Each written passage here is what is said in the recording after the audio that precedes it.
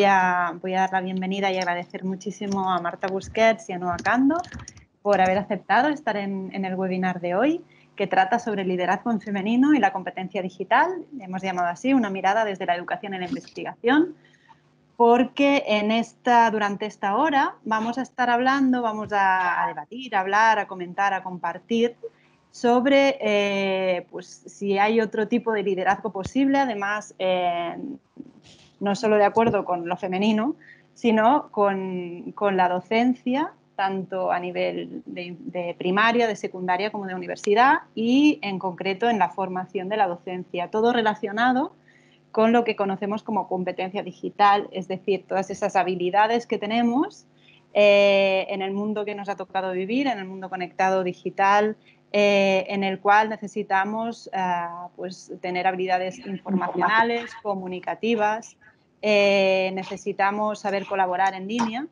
y pues el COVID nos ha puesto sobre la mesa en concreto eh, la realidad eh, que vivimos eh, las mujeres en, en, este mundo conectado, en este mundo digital, ya que nos han vendido que hay una conciliación, que tenemos que conciliar, que tenemos que hacer todo lo posible para trabajar, para estudiar y para maternar en línea y en este contexto tan difícil.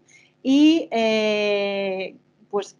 eso que nos han vendido parece que nos está pesando mucho sobre los hombros y que si lo miramos desde otras perspectivas, que espero podamos ver hoy con, con nuestras eh, invitadas, eh, creo que pues, tenemos que quitarnos un poquito de peso de encima y empezar a ver cómo, eh, cómo es el contexto el que realmente nos está poniendo esas, esos límites o, nos, o no, no, nos ayuda a poder, a poder trabajar de manera igual que nuestros compañeros. El, contexto en sí va a ser, yo voy a, plantear alguna pregunta, aparte de esta pequeña introducción y de la presentación de, las dos compañeras, y eh, pues vamos a abrir un diálogo entre nosotras, entre Marta y Noa, para poder discutir eh, pues, pues todo esto desde, desde, dos diferentes puntos de vista que espero que nos enriquezcan a todos. Eh, empezaré presentando a Marta. Eh, Marta Busquets es licenciada y máster en Derecho. Tú me dices si, si digo alguna cosa que, o quieres añadir alguna cosa, Marta. Ok. es máster en género, escritora y activista. actualmente vive en Barcelona y es madre de dos hijos. Es licenciada y máster en Derecho por ESADE, máster en Mujeres, Género y Ciudadanía por la Universidad de Barcelona y trabaja como abogada actualmente en los ámbitos del derecho sanitario, la familia, civil, eh, mercantil, fiscal, gestión de patrimonios y procesal, entre otras cosas, ¿verdad? Sí.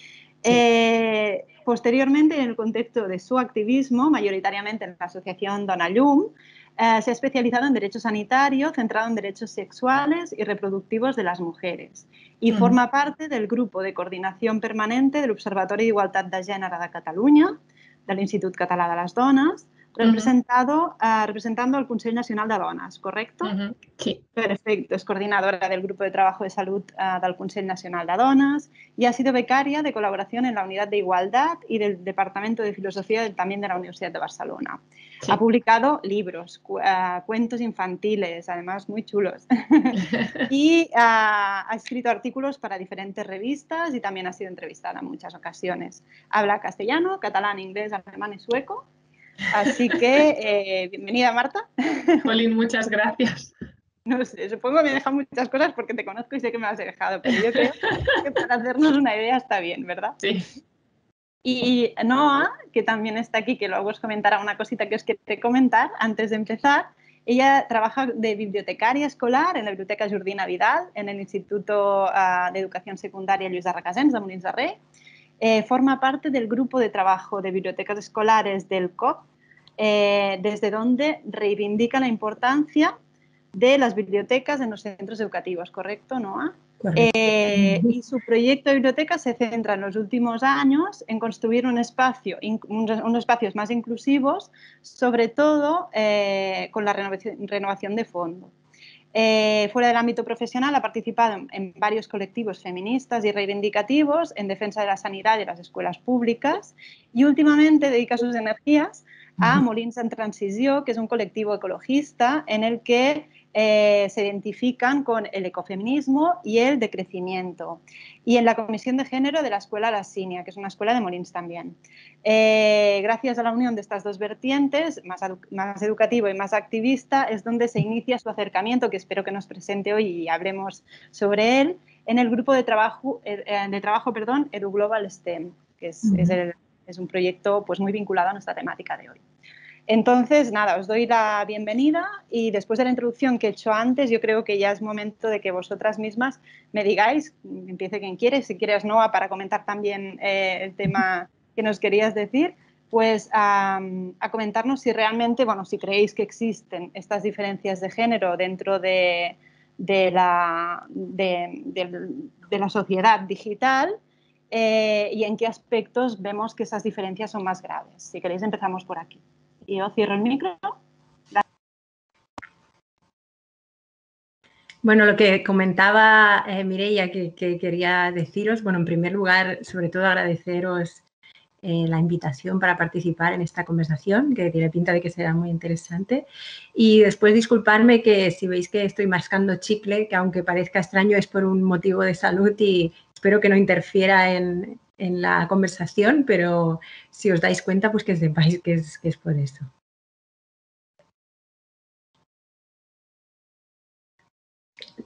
Activo el micro. ¿Quién quiere empezar? Disculpad a comentar este tema. Um, bueno, yo empezaría diciendo que por supuesto que hay diferencias en el, en el mundo digital, en cómo participamos las mujeres eh, del mismo. Para empezar en un tema de acceso, ¿no? Tenemos que tener tiempo para acceder pues al mundo digital, entre comillas, aunque es cada vez más complicado separar el mundo digital del mundo analógico, por cuestiones de gestión del tiempo, de que estamos cuidando, etcétera. Luego también desde el punto de vista de los recursos, ¿no? Pues si sabemos que, por ejemplo, la mayoría de familias monoparentales son en realidad monomarentales y están como en riesgo de pobreza, también eh, qué dispositivos o qué capacidad tienen de acceder a dispositivos que les permiten participar de la sociedad digital especialmente porque hoy en día la ciudadanía también tiene una parte componente de ciudadanía digital. Y luego pensaba en muchos otros ámbitos que a lo mejor no son tan evidentes, pero las redes sociales ya hay, hay estudios, ¿no? Que cuando las mujeres intentamos expresar nuestras opiniones en redes sociales o somos vocales, especialmente opiniones de tipo político o reivindicativo de derechos, ah, recibimos más violencia o acoso en redes, desde acoso sexual, las típicas, disculpadme, foto que nadie ha pedido cuando estamos hablando de otro tema. El tema también participar en el ocio digital, los videojuegos, también hay como un activismo importante en la representación de las mujeres o incluso iniciativas que me encantan, como por ejemplo la Wikipedia, iniciativas feministas que consisten en cribar la Wikipedia, ver que las mujeres estamos sistemáticamente infrarrepresentadas y quedar juntas los fines de semana para crear perfiles de mujeres que han logrado cosas en, en la vida, ¿no? Eh, y, este sería como un primer apunte que a mí se me... Se, disculpadme, que tengo una gata que es sorda y... Entonces, em, creo que es complicado como mujeres participar de, de los espacios digitales sin recibir acoso, el tema del acceso y todo. Y también justo hoy leí un artículo ¿no? de que con todo esto que ha pasado de la pandemia, ya en una reunión analógica somos interrumpidas constantemente para que se nos expliquen cosas, para repetir ideas que ya hemos expresado, etcétera. Esto se puede incluso agravar en reuniones de Zoom, que todavía hay que saltar más barreras ¿no? del lenguaje corporal, de que no estamos presentes. Mm, bueno, son una serie de cuestiones que a lo mejor no son evidentes, pero a la que empiezas a rascar, creo que muchas de nosotras nos hemos encontrado con este tipo de cosas. La verdad es que lo que has dicho, eh, creo que has, abarcado un poco todo, que no sé muy bien, eh, bueno, estoy de acuerdo con todo, no, sé muy bien qué añadir. Em, para darle un poco la parte, o sea, darle la vuelta, ¿no? Y buscarle la parte positiva, sí que quizás a veces los entornos digitales nos permiten o nos dan más facilidad a las mujeres eh, por el tema de conciliar, ¿no? Que a veces eh, tenerte que desplazar para ir a una reunión, organizarte los canguros em, es más complicado. En cambio, eh, un poco por, darle la vuelta, pero realmente, mm, o sea, estoy de acuerdo con todo lo que has dicho y, es cierto que sí en la vida, ¿no? en el cuerpo a cuerpo, pues ya tenemos dificultades, pues en el ámbito digital esas dificultades muchas veces son o se agravan o se mantienen, ¿no?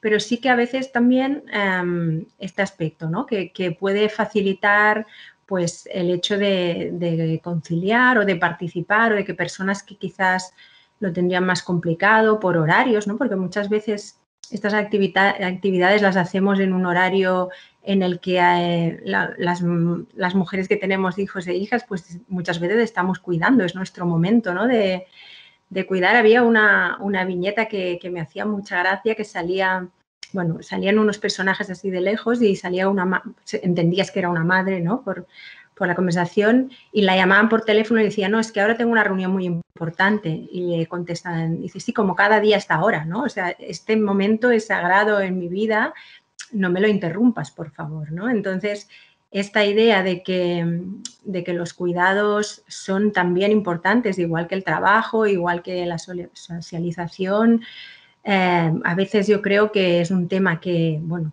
que, que, queda muy pendiente, que se ha visto con la pandemia, que, que es una cosa que había que hacer de más a más de todo lo que había que hacer, ¿no? No había un, un espacio, un tiempo para, para, eso.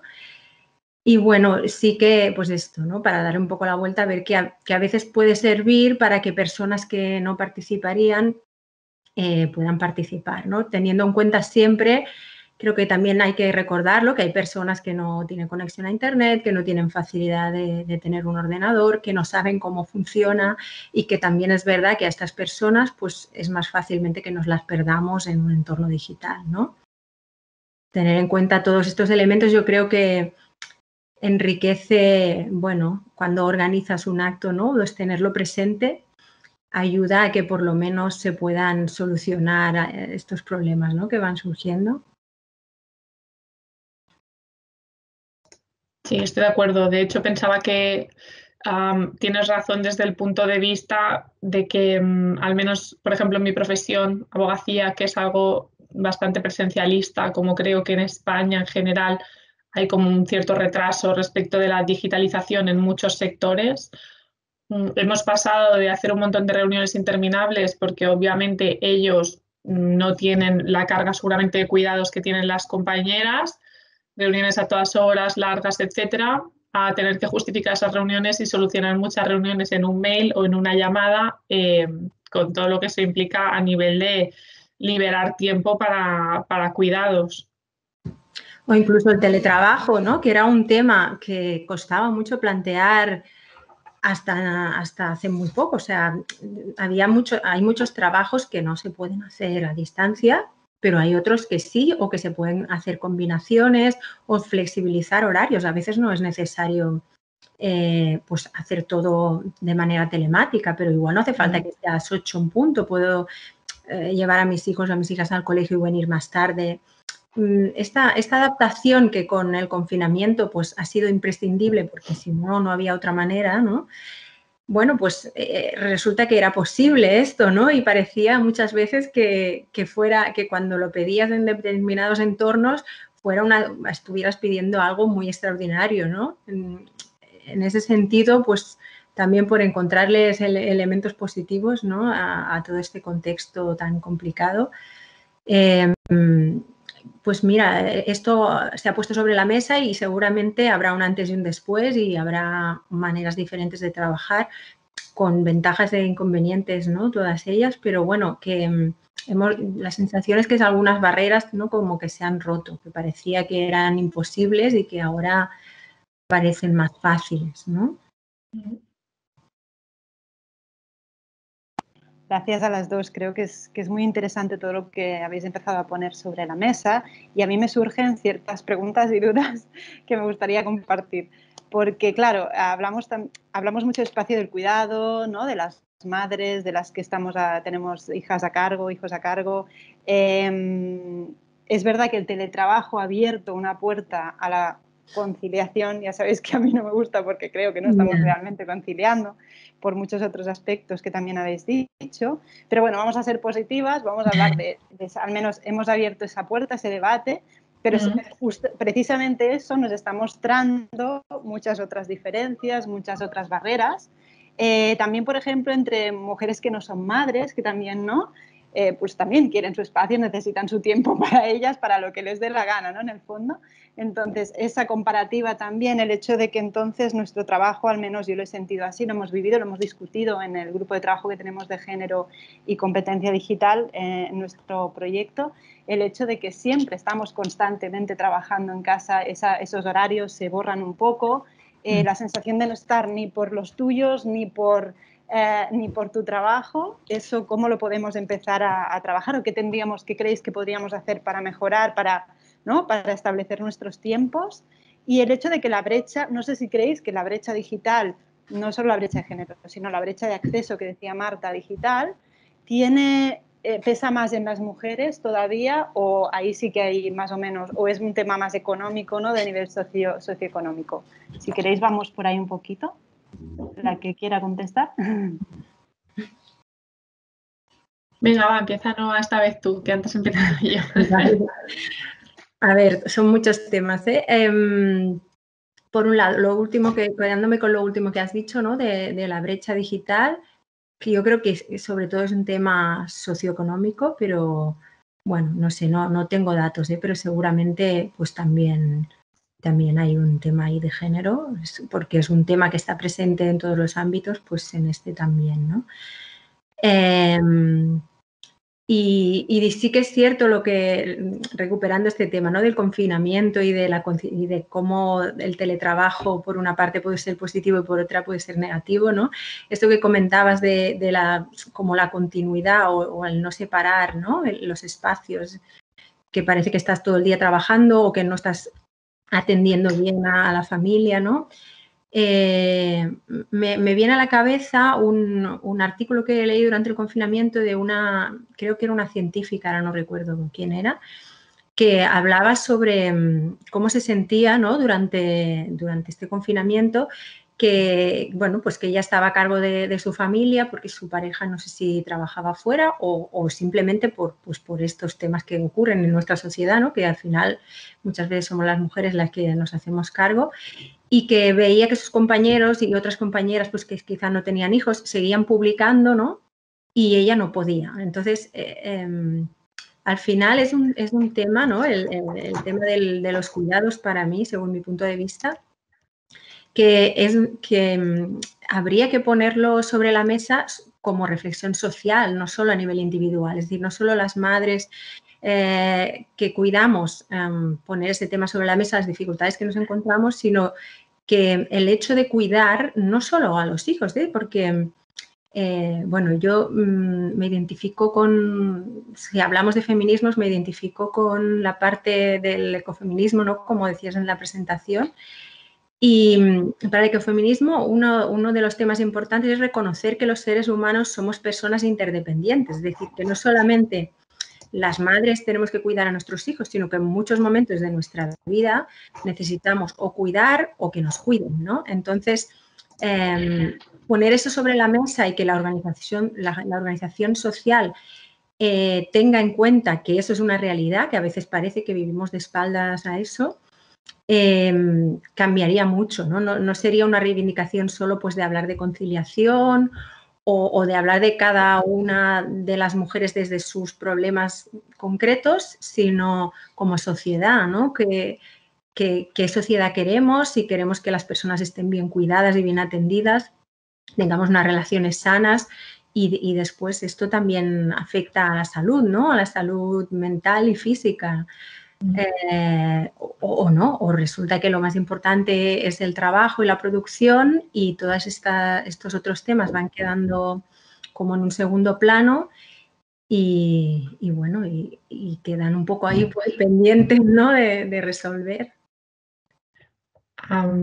estoy totalmente de acuerdo con la compañera. De hecho, creo que en, cuando se produjo las primeras olas de confinamiento total, y creo que ahora, a pesar de que iremos igual por la tercera ola, aún no ha habido la discusión de qué pasó cuando cerraron las escuelas, porque eh, al final vivimos en una sociedad en que hay una parte educativa, o llámale como quieras, que está externalizada, o que hay familias que saben que tienen garantizados unos cuidados en cierto horario, entonces, en el momento en que se desmantelan las escuelas, se envía un montón de criaturas a casa, Además, se pretende que sean las familias, y sabemos que han sido principalmente las madres las que se supone que están teletrabajando como si nada hubiera pasado y a la vez realizando una labor educativa de repente, no sé cuántos deberes, fichas, que hay que enviar fotos, etcétera, y nadie se plantea cómo se, cómo se sostiene esto, además en un eh, momento psicológico, emocional, social muy complicado a nivel de salud mental, ¿no? Que estás asustada porque hay una pandemia afuera, porque hay gente enferma, ¿no? Etcétera.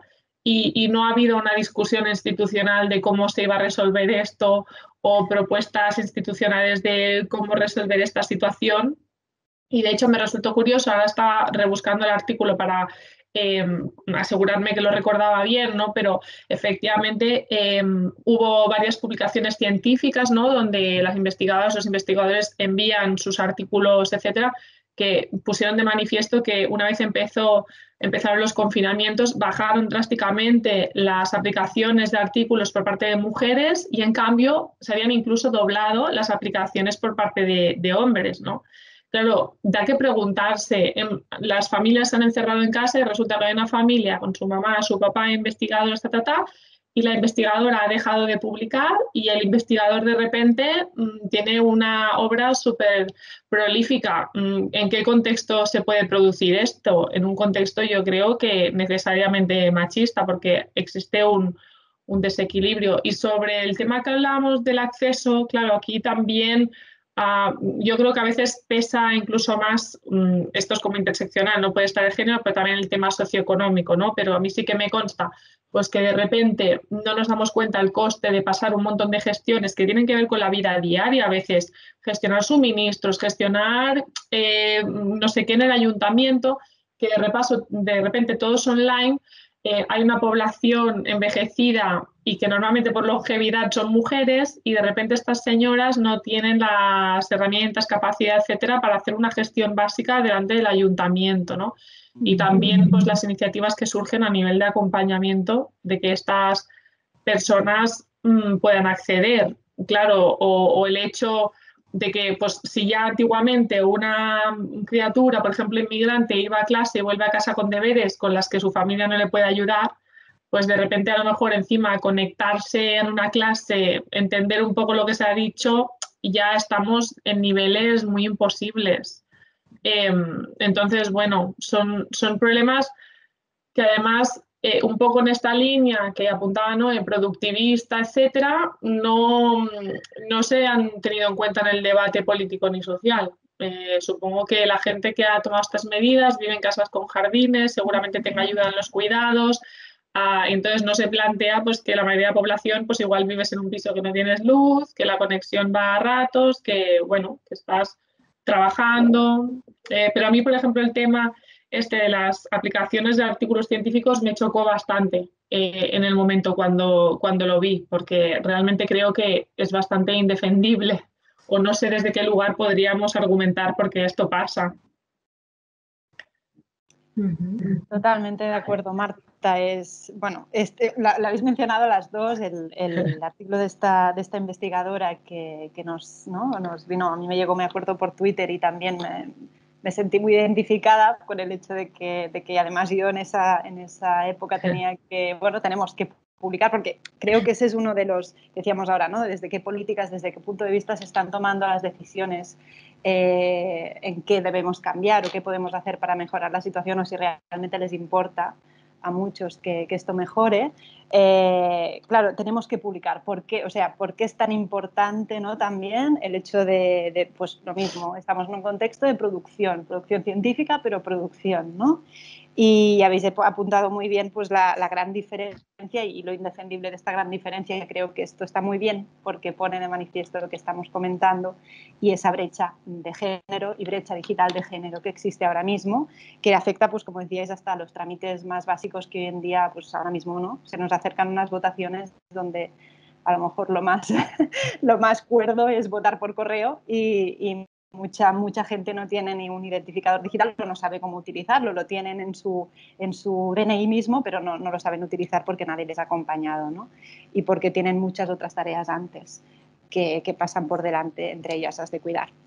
Entonces, eh, agradezco eh, pues este, este recorrido por todo, por todo el contexto que tenemos ahora mismo. Y ahora me gustaría empezar a entrar un poquito más, por ejemplo, ¿no? en, el, en el tema del ecofeminismo y cómo desde aquí y desde el proyecto que, que, presentas o, que, o, en el que has estado trabajando, pues podemos empezar a ver qué, eh, qué, soluciones o qué modelos diferentes hay a este modelo que nos presentabas productivo, ¿no? Eh, eh, totalmente heteropatriarcal, qué posibilidad o qué, qué rayito de luz estamos empezando a ver en iniciativas como esta para trabajar eh, estos problemas, esta realidad desde otro punto de vista. Si quieres empezar por aquí. Gracias.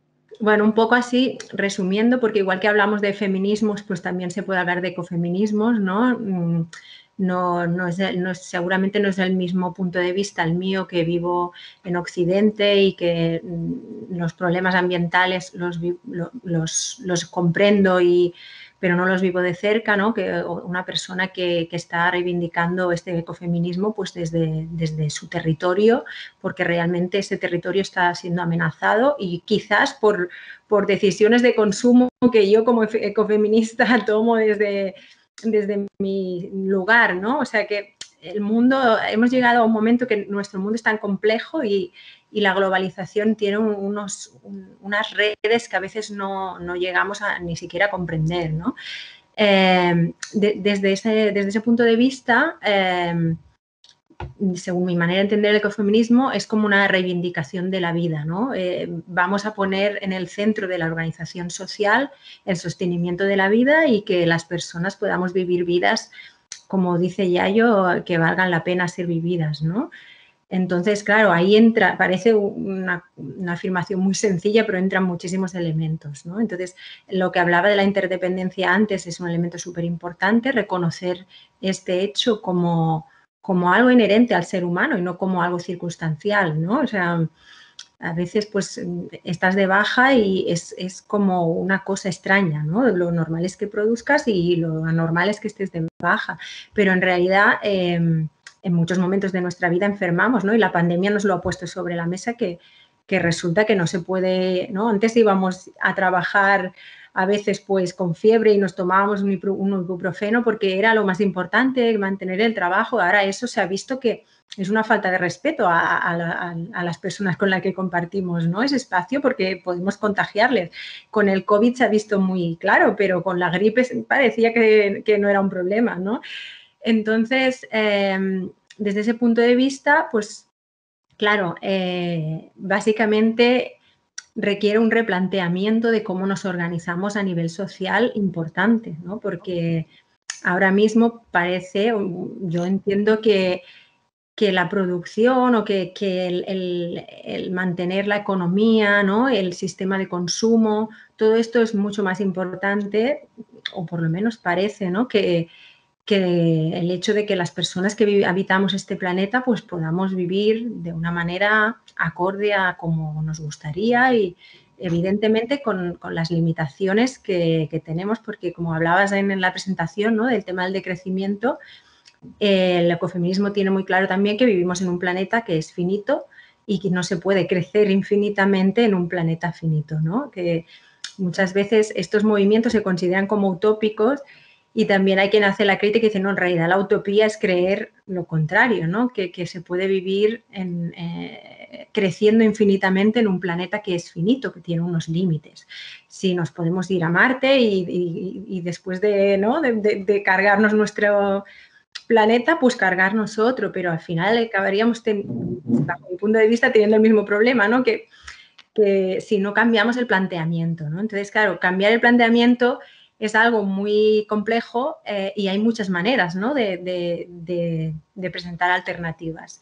Pero básicamente para mí el, tema central es, es, que la vida esté en el centro, ¿no? que nos organicemos, pues eso, teniendo en cuenta este tema. ¿no? Haciendo el paralelismo con el confinamiento que hemos estado hablando mucho, ¿no? Pues cerramos las escuelas, ¿no? Y, pero ¿por qué motivo cerramos las escuelas? Porque hay un riesgo de contagio o simplemente ¿no? no lo hemos pensado muy bien, hemos pensado en qué consecuencias va a tener eso para las familias, para, para los niños y las niñas ¿no? que, han estado encerrados en casa tantos meses que los adultos podíamos salir a comprar a trabajar, pero ellos y ellas pues no podían salir, ¿no? Em, pues un poco mm, que, eso pase, que tenga más peso ¿no? en, nuestra sociedad y que nos organicemos para, para mantener eso, no? Para... Hola, Mónica San Romà. És que no sé què passa, pues, eh? perquè abans també m'han dit salta el contestador, però no sé. Salta. Sí. Mercè, tens el micro obert? Espera. Sí. Ya le he apagado. Vale, gracias. bueno, pues eso. Directo, gracias. Sí. Marta, no sé si quieres añadir algo sobre, sobre los aspectos que estaba comentando. Bueno, estoy de acuerdo con eh, Noa y de hecho eh, un poco en esta línea también de, del ecofeminismo, a menudo también se pone de relieve que precisamente pensamos en la revolución digital como algo inmaterial, pero para que se produzca la revolución digital hacen falta, de hecho, muchas, muchos materiales, una serie de minerales, etcétera, que plantean problemas a nivel colonialista, extractivista, de dónde viene eh, a nivel físico-material la revolución digital en Occidente. pues queremos litio, queremos cosas que parece que son minerales que también eh, son limitados, entonces no es razonable pensar que vamos a poder hacer una expansión digital sin límites porque vamos a tener los límites físicos de todos estos minerales y de nuevo, pues esto, ¿no? De quién los extrae, cómo se extraen, qué consecuencias políticas tiene y cómo acaban en guerra en estos países, ¿no? Por ejemplo, en Bolivia pues ha habido todo este proceso político complicado y sabemos que es uno de los grandes proveedores, creo que es de litio del, del mundo, ¿no? A lo mejor no es casualidad que haya como historias.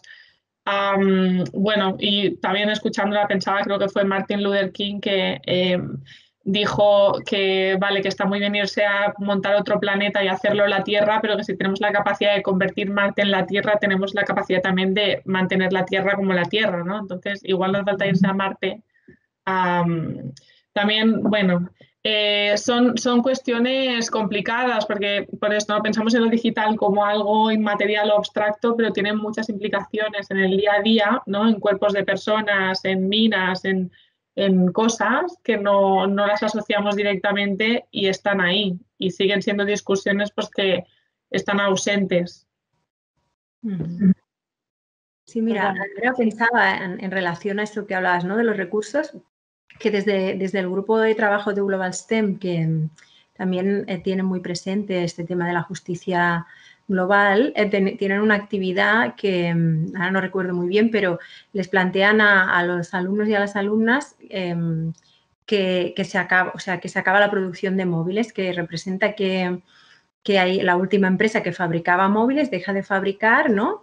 Y, y bueno, la actividad gira en torno, en torno a este tema, ¿no? Y claro, eh, a los chicos y chicas que están todo el día hoy con el teléfono móvil, ¿no? Plantearles una actividad que dice, no, que es que se acaban los móviles en la Tierra, ya no habrá más. les peta un poco el cerebro, ¿no? Pero claro, a partir de ahí, eh, ellos sí, ellas tienen un interés en, investigar todas estas interrelaciones ¿no? que, que se dan a nivel global porque es algo que les afecta directamente. O sea, si me voy a quedar sin móvil, mi vida va a cambiar muchísimo, ¿no? Entonces, a partir de aquí puedo empezar a entender relaciones más globales eh, que de otra manera a, nivel abstracto me costaría mucho de, relacionar, ¿no? Eh, siguiendo con todo esto y ah, un poquito pasando al, concepto de liderazgo femenino, liderazgo femenino, liderazgo feminista, como queramos llamarle, y, las que me conocéis un poco también, porque es un aspecto que, me gusta bastante, en el que me gusta bastante trabajar y en el que tengo un poco de experiencia, hablamos de, las, de las fases o de la supuesta ciclicidad femenina, supuesta no, de la ciclicidad femenina eh, directamente, lo que pasa es que cada una la tenemos diferente, pero ahí está.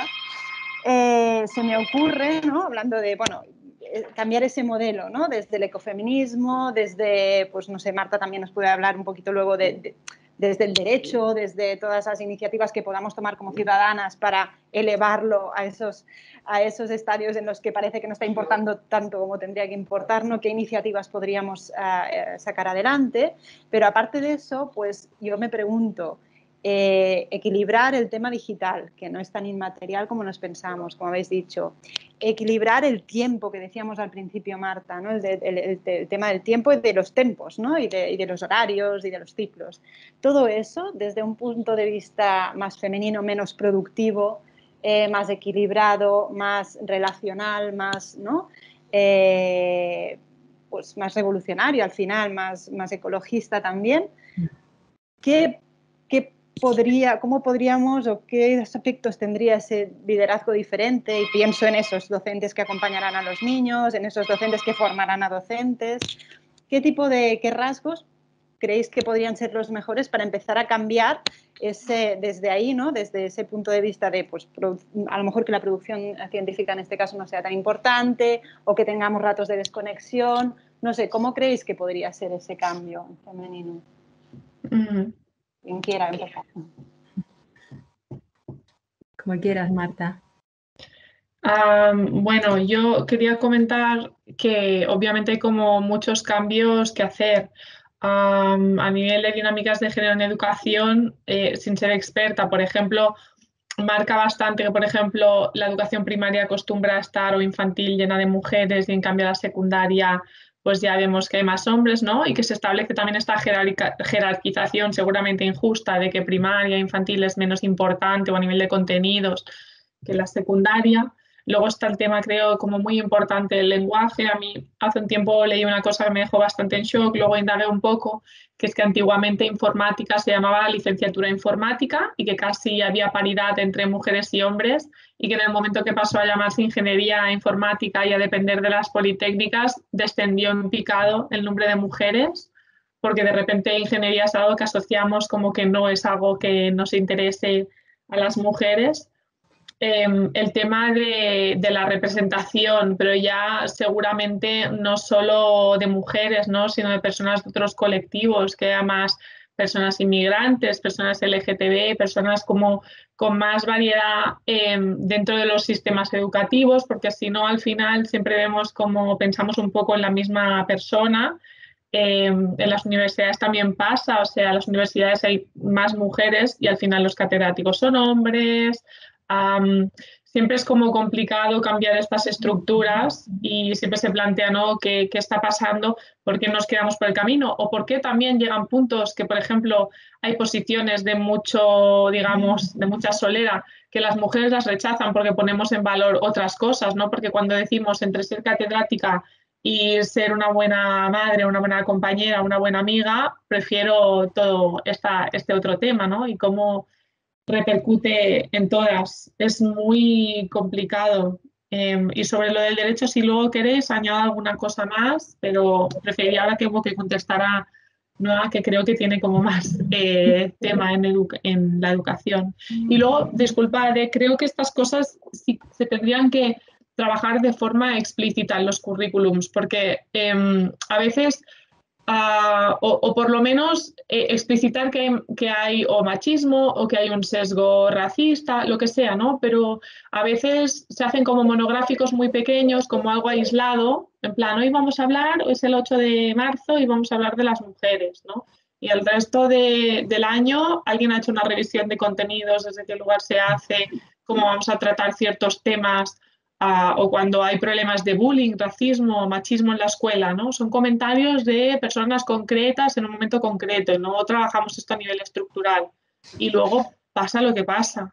E incluso desde mi experiencia en la unidad de igualdad o campañas que hacen feministas, las unidades de igualdad, mm, si se activan protocolos de acoso sexual, etcétera, dentro de centros, lo complicado que es gestionar esto. Ah, tenemos pocas herramientas y las que tenemos creo que son bastante precarias. Uf, sí, la verdad es que han salido tantos temas que podríamos estar hablando aquí horas y horas. ¿eh? Eh, pero, pero sí, por ejemplo, eh, aterrizando esto en, los centros educativos, claro, yo hoy revisaba un poco mm, en la formación inicial del profesorado, tanto en los grados de, de educación primaria como en, los, posgrados de, formación de secundaria de profesorado y el tema de la coeducación brilla por su ausencia. ¿no? Entonces, si no, las personas que, que, estamos en los centros educativos no nos hemos formado, no hemos reflexionado sobre estos temas, es difícil que los abordemos de una manera coeducativa, inclusiva o con esta mirada de, comprender mm, las dificultades de otras personas que viven realidades socioeconómicas diferentes a las nuestras, ¿no? Porque al final eh, el profesorado pues, es un perfil social y luego eh, la, sociedad es muy diversa, ¿no? Entonces, eh, bueno, ese es, un problema principal, vamos, lo veo como o sea, lo que decías de, que no sea un tema que se toque de manera puntual, sino que esté integrado en el currículum, ahí también le has dado en el clavo, ¿no? O sea, es verdad que para el 8 de marzo cada vez se hacen más cosas, para el 25 de noviembre, ¿no? Pero, eh, y está bien que se hagan, pero al final, si los libros de texto no hay ni una mujer que haya hecho nada interesante en la historia, pues creemos que las mujeres no hacemos cosas interesantes, ¿no? Eh, y claro, hay una parte pues, de invisibilizar, ¿no? De, cómo estas personas eh, quizás han hecho descubrimientos y resulta que vino otro científico y se lo robó y se llevó el mérito, ¿no? Bueno, está la historia llena, ¿no? De, la ciencia, del arte, de, todo, en todos los ámbitos, ¿no? Entonces, em, hay una parte muy importante de visibilizar, ¿no? de, que, de que existan liderazgos femeninos y también que otra manera de ejercer los liderazgos, porque seguramente, eh, bueno, mm, pues puede, que los, ejerzamos diferente, ¿no? Entonces, también tenemos la idea de lo que es un liderazgo lo que, y, a veces pues puede ser diferente, ¿no? Se puede ser un liderazgos más cooperativos, menos personalizados, más... Eh, de grupo, de, de, colaborar, ¿no? Eh, pero claro, para que eso se pueda dar mm, necesitamos referentes, ¿no? Conocer que eso primero es posible eh, y después mm, verlo de cerca, ¿no? Ver qué pasa. Mm, también en las aulas, ¿no? La manera de trabajar. Eh, si trabajamos cada una, los alumnos y las alumnas trabajan de manera individual, tampoco estamos transmitiendo esta idea de que se puede, que, de manera cooperativa a veces pues surgen cosas diferentes, ¿no? O, que hay, según lo que se quiera, la actividad que se quiera trabajar o el aprendizaje, pues habrá unas actividades que, sean mejor hacerlas de manera cooperativa y otras de manera individual, ¿no? Pero mm, muchas veces eso tampoco está presente, entonces eh, no lo tenemos como, como posibilidad, ¿no? Entonces, para mí es muy importante eh, tener referentes. Eh, entonces, pues eso, que, conozcamos mujeres eh, en distintos ámbitos y mujeres, hablo de mujeres, pero como, decías, no solo mujeres, sino personas con una identidad sexual diferente, de un origen diferente, ¿no? O sea, abrir un poco nuestra mente y y ver el mundo pues con, unos ojos un poco más, bueno, receptivos a, ver otras cosas también que también existen, también están pasando y al no prestarles importancia pues parece que, no sucedan, ¿no?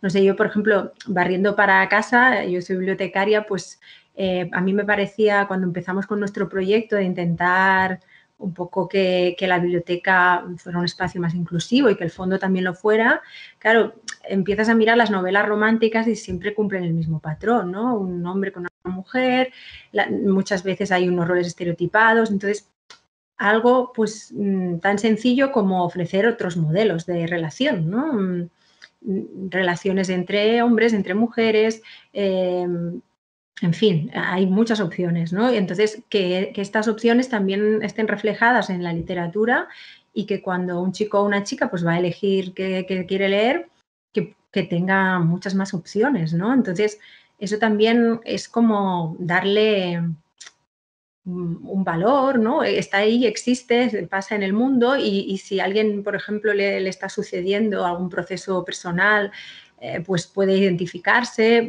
podemos entender a nuestro compañero o compañera que nos ha contado, pues que, no sé, en fin, historias de amor, ¿no? En la adolescencia hay, muchas y es un tema que está muy presente, entonces es importante también cómo, se aborda esto, ¿no? Desde, desde los centros educativos, eh, en secundaria sobre todo, pero bueno, en la primaria también el tema de la sexualidad pues empieza a surgir, la, menstruación, ¿no? todos estos temas que, que, puedan aparecer y que se puedan abordar y, por eso es tan importante la coeducación, ¿no?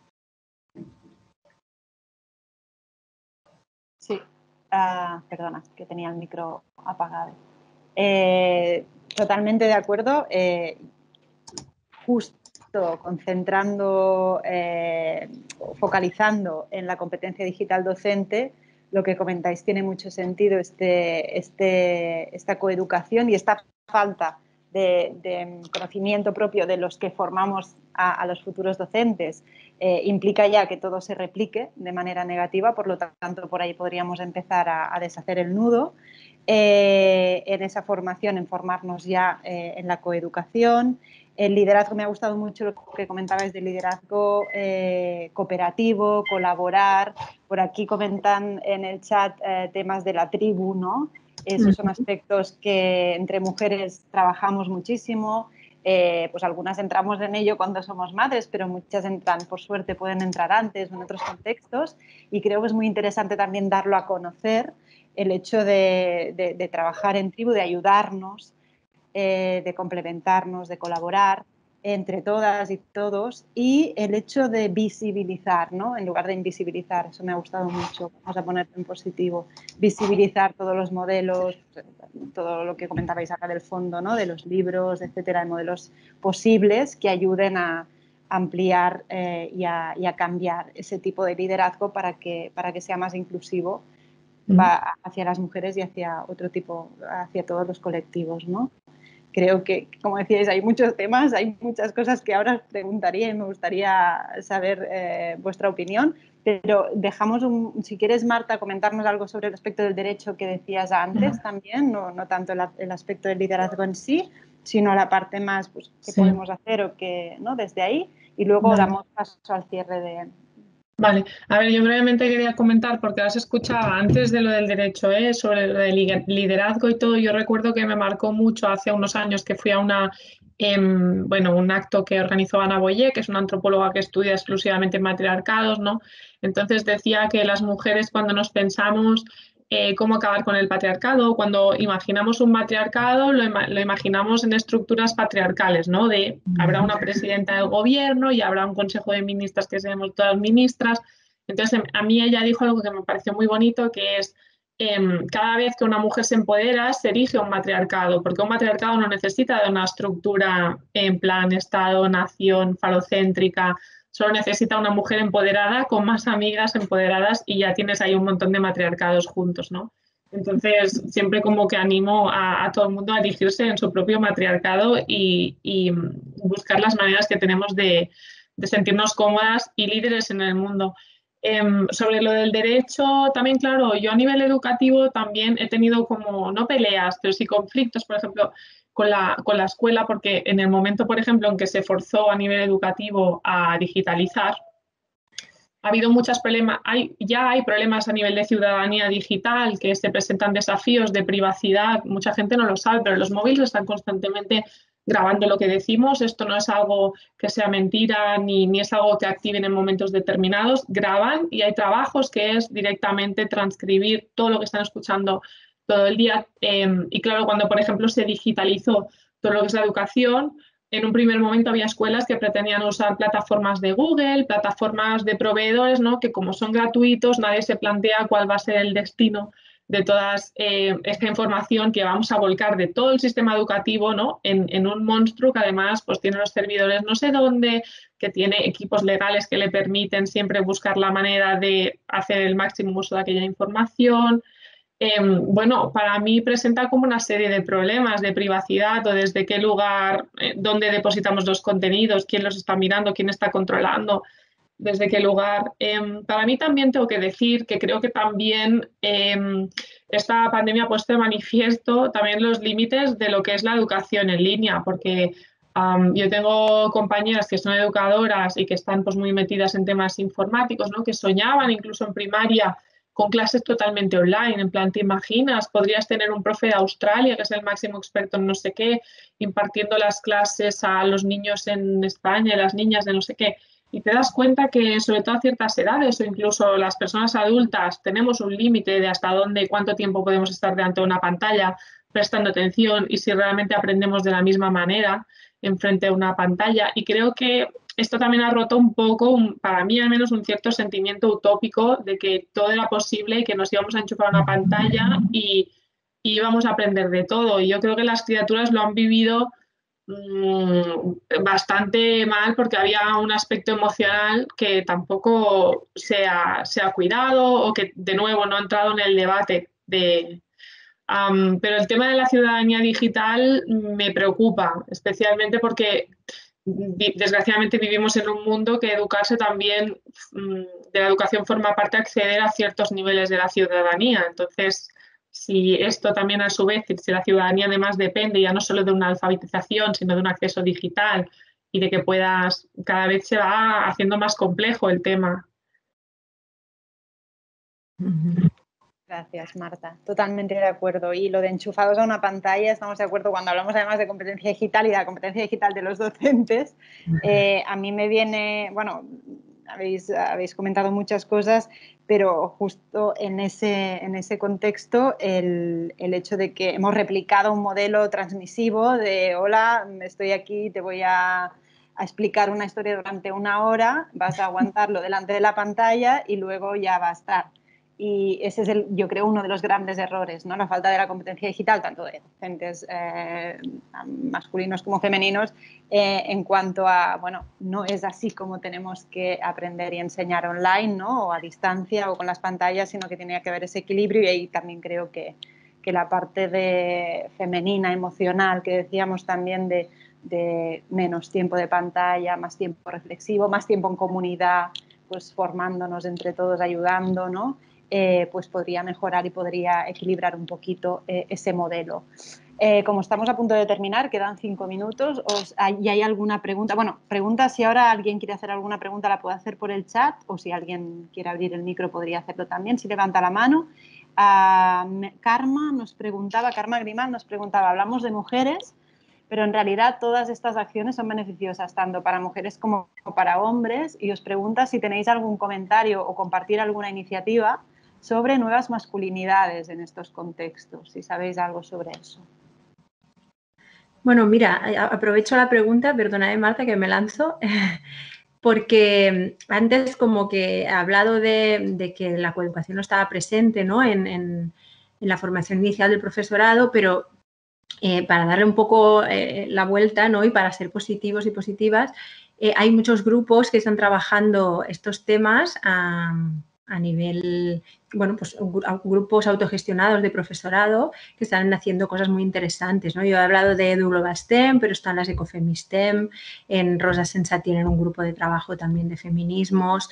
Después también es importante em, la labor que hacen las familias, ¿no? desde las comisiones de género de, de las asociaciones de familias que, también están empujando a muchas escuelas a que, a que pongan estos temas sobre la mesa. ¿no? Eh, y, mm, os invito a investigar cualquier iniciativa de, estos grupos que hacen cosas muy interesantes. Eh, y además desde, desde, la práctica docente, ¿no? Son personas que, que, se dedican a esto, que tienen esta inquietud a nivel profesional y a nivel personal y, mm, y bueno, y, hacen cosas realmente muy interesantes, ¿no? Que, ojalá se, extendieran un poco, ¿no? que no fueran islas de grupos de trabajo, sino que, se fueran extendiendo. Y bueno, el, caso es que sí que estas cosas van creciendo, ¿no? Porque, por ejemplo, el grupo de trabajo Ecofemistem nació de una escuela de verano que organizó Edu Global STEM hace un par de años. De allí nació un grupo de trabajo nuevo, ¿no? Entonces, esas semillitas que se van poniendo, pues parece ser que van, que van creciendo y, ya te digo, cada una de estas entidades, bueno, después hay otras asociaciones que trabajan el tema de la coeducación desde fuera, digamos, pero que, son invitadas a los centros educativos que también hacen cosas muy interesantes como Fila la eh, y un montón de entidades más. Eh, y también eh, el año pasado una iniciativa muy interesante del Ministerio que, subvencionar a los centros educativos y a los centros de recursos pedagógicos eh, con una dotación para comprar material coeducativo. Súper interesante, ¿no? Porque muchas veces pues tenemos esa mirada, tenemos interés, pero no tenemos dinero para comprar el material, ¿no? Entonces, eh, por ejemplo, en mi ámbito cercano me consta que el, centro de recursos de aquí de la zona del Valle de Obregat pues eh, se lo ha tomado en serio y no solo ha comprado el material, sino que pues, se ha dedicado a hacer formación. En el seminario de bibliotecas han estado trabajando sobre este tema, eh, están elaborando ahora pues, mm, una, serie de ítems para identificar eh, los libros que se compran, pues si son sexistas o no son sexistas, ¿no? Bueno, también hubo una polémica muy importante en la Escuela Taber de Barcelona que, que, también revisó la biblioteca con perspectiva de género y también se armó una gorda, ¿no? Bueno, van, van, van pasando cosas y, bueno, está, está, bien poner atención para, porque son modelos, a veces para seguir, a veces para aprender de, cosas que se han hecho que se podrían haber hecho de otra manera, ¿no? Pero al final poner allí la mirada y, ver cómo, esos problemas que están ahí, esas deficiencias, pues se pueden ir mejorando y resolviendo, ¿no? Genial, gracias. Marta, si quieres comentar. Eh, nos dicen también, nos comenta Begoña que la idea de la, no es una pregunta, pero es una reflexión de acuerdo con algo que ha comentado Marta. La idea de la mujer empoderada eh, que comenta Marta dice que le recuerda mucho la importancia de no conceder autoridad a quien no la tiene. Eso creo que también viene por el tema de, ese matriarcado que podemos montarnos todas nosotras y por el mero hecho de ostentar un determinado cargo o profesión. Estamos de acuerdo que ese es un modelo existente ¿no? y que, y que tal vez es, el que tenemos que empezar a desmontar desde, eso que ha comentado Marta. No sé si alguien tiene una pregunta concreta, tenemos un minuto, si no, eh, vamos a ir cerrando. Bueno, mientras, si ya os digo, ¿eh? si alguien quiere levantar la mano y si no comentarlo, yo voy a hacer un pequeño cierre con, con, cuatro cosas que me parece que han sido bastante importantes y que me gustaría, con las que me gustaría cerrar. Eh, pues hablar de, bueno, agradeceros muchísimo eh, que he estado compartiendo durante este tiempo. A mí se me ha hecho muy corto y ya os digo, eh, se abren tramas, se abren comentarios, estaría preguntando y hablando muchísimo sobre, sobre todos estos temas alrededor de, del mundo digital que tenemos y de cómo desde el feminismo y desde el ecofeminismo podemos cambiarlo un poquito a mejor. y y me quedaría, bueno, me, me ha gustado mucho la frase de Marta de el matriarcado solo necesita una mujer empoderada para, para llevarse a cabo. Eh, también el hecho de que, de que visibilicemos otros modelos, modelos diferentes, no solo en cuanto a, a, mujeres en el mundo digital, sino en cuanto, pues eso, desde relaciones, desde libros, desde eh, fondos de biblioteca, ¿no? que nos ayuden a, a, a cambiar la visión desde ya, desde primaria, desde infantil si puede ser la ecoeducación como algo muy importante en lo que tendríamos que formarnos todos. Y, poco más. Creo que han salido muchas ideas interesantes de las que podríamos, eh, pues como os he dicho, seguir comentando, tirar del hilo y espero que sea una semillita que cada una de las que estamos aquí hoy escuchando nos hayamos llevado. Eh, si queréis comentar algo, si queréis despediros, eh, yo os agradezco de nuevo muchísimo todo lo que habéis aportado y lo que, y lo que hemos estado comentando. Y, hasta aquí. Eh, gracias a todos. Muchas gracias a todas.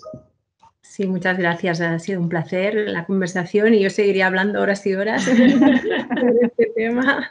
me parece que una hora va a ser poco, ahí va a ser, mucho, pero luego dices, no, no, sí, ya está, no, he podido preguntar ni la mitad de lo que os quería preguntar, pero así dará para otra, otra vez que nos podamos encontrar. Exacto. Muchas gracias. Muchas gracias. Hasta, hasta luego. Hasta luego.